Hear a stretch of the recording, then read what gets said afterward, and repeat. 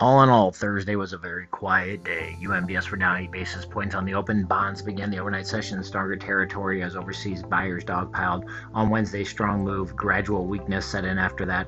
We got jobless claims this morning. It came in at up 190,000 versus a 214,000 estimates of jobs are staying strong. It was 205,000 previously.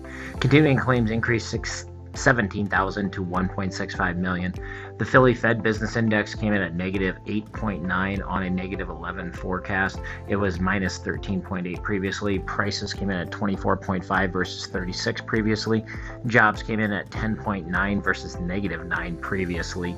Housing starts fell 1.9% month over month and 21.8% year over year to an annualized rate of 1.38 million. This was a touch above expectations. Building permits fell 1.6% month over month or about 30% year over year. Not surprising given how lousy the house purchase market is. KB Homes announced that their cancellation rate was so large they are halting new projects and just working on the backlog.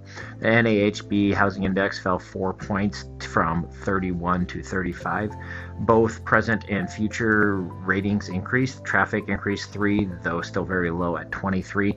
At the end of the day, we were up 2 basis points, ending up at 100.5, which is just below that 38% Fibonacci retracement, the upper end of that range, which has proven to be a pretty solid ceiling.